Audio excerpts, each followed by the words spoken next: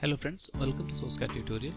In this tutorial, we'll model this mechanical model here and after going through this model, you'll be able to use press pull tool more effectively than ever before. Okay, so let's start this mechanical modeling. Okay, but before starting this mechanical modeling, I want you to, to switch your workspace to 3D workspace, 3D modeling. So for that, click on this gear icon here and change it to 3D modeling. Alternatively, you can change it to 3D modeling from here also. Go to 3D modeling if you're not on 3D modeling workspace. Okay, now I want you to visualize this solid as if you're watching from the top.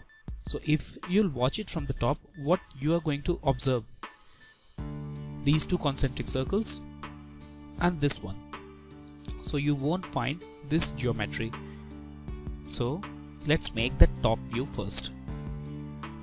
So for making the top view go to circle click on the anywhere on the screen and make a circle with a diameter of 1.38 units. This is 1.38 units okay. Dia for d for dia and 1.38 units okay. Here it is okay. Now select it again click on the center and this time the diameter is 2.50 so select diameter and 2.50 enter. So here it is. We're done with this. Now we'll make this geometry. So as you can see that it is 2.63 units from the center line. So we need to make a center line first. So let's make this center line. Okay. And this center line as well so from here you, I have used this construction line feature to make the center line. You need to remember that on O snap, on this O snap, intersection is on. Otherwise you won't find this point. So now click on this point and drag it to a length of 2.63 units 2.63 units now drag it on this direction again and enter a length of 1.25 again. Okay. Now take it down to a distance of 2.50 units. Why 2.50? Because the diameter of the circle is 2.50. That is why. So 2.50 enter and now join it with this point. Okay, we're done. Now let's select circle, click on this point and make a circle like this. Okay up to this point we are going good.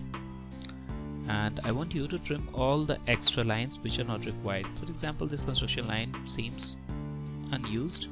And let's go to this trim command and remove this line as well. Now I'll make this shape which is present here. So for making this shape I want you to go to rectangle tool select rectangle and make a rectangle anywhere inside this drawing. Unit you don't need to be precise here at this point of time. So select at the rate enter a length of 1.25 units comma a width of a width that is equivalent to the diameter of this circle. And as you can see the diameter of the circle is 1 units so a width of 1 unit. Press enter. Okay. Now move this rectangle from the center point to this center point. And now let's make the circles on these two centers. Okay, now all we need to do is trim all the additional lines which are no longer required like this construction line, select trim and trim all these lines.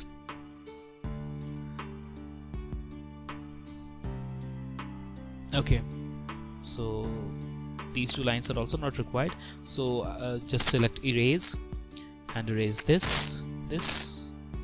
Uh, you need to join these three lines as well. So go to modify join select this complete geometry and press enter. Similarly go to join select these three lines and this also and press enter. Okay. Now let's go to 3d view now see the height. What's the height of the cylinder? It's 4 units here. So I'll go to press pull tool. Select this area that is enclosed in between these two circles and I'll press pull it downwards since the z-axis is positive upwards so I'll make it negative. So I'll press pull it downwards to a distance of 2 units. So I'll enter minus 2 and enter. So again I'll repeat the process but this time I'll press pull it upwards to a distance of 2 units. And we are done with this. Okay similarly I suggest you to just change it to hidden view to make it more clear. Now in the similar way I'll press pull this geometry also. Now since you can see that the height of this geometry is 0.75 so we need to press pull it upwards and downwards to a distance of 0.375 so first we'll press pull it downwards. So click this area and enter a value of minus 0.375 and enter. Similarly again press pull upwards to 0.375 but this time with positive value. And we are done. Change it to shaded. And you can turn off this grid also. Thank you for watching